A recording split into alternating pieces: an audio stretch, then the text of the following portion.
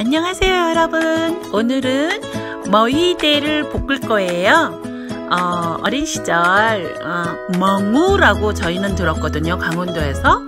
근데 머위대라고 얘기하나 봐요. 머위대 볶음 한번 해봅시다. 어릴 때 우리 엄마 살아계실 때 먹어보고 처음인 것 같아요. 그러니까 한 35년 만에 먹어보는 맛이에요. 시골로 이사 온 다음 그 재종이 아저씨라고 아빠처럼 너무너무 잘해주시는 분이 있는데요. 그분한테 어, 조금 얻어다 심었거든요. 어, 근데 어느 날 보니까 제법 따서 볶아 먹을 정도로 자라 있더라고요.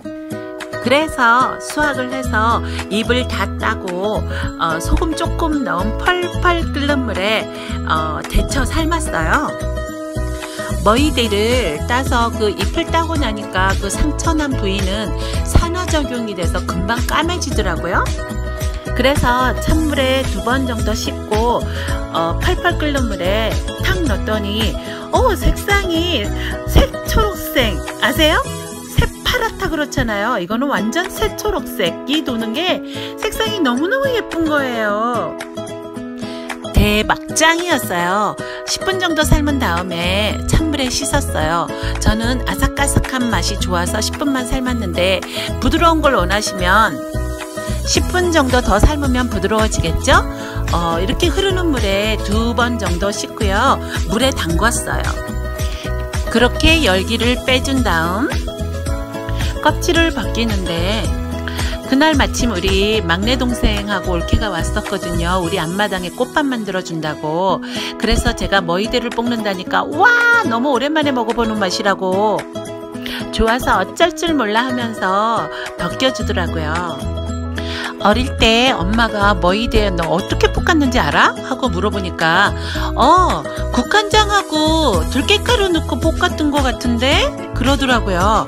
그래서 저도 그렇게 따라서 한번 볶아봤어요.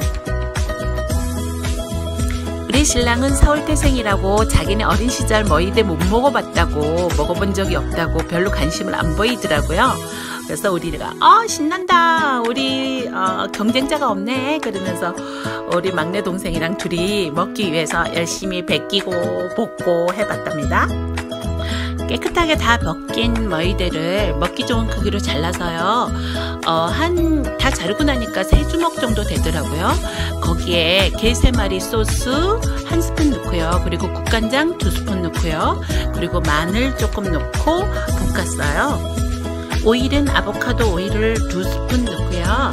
그리고 볶아주면서 어, 들깨가루를 네 스푼 넉넉히 넣었어요. 할라피뇨 큰 걸로 하나 다져 넣고요.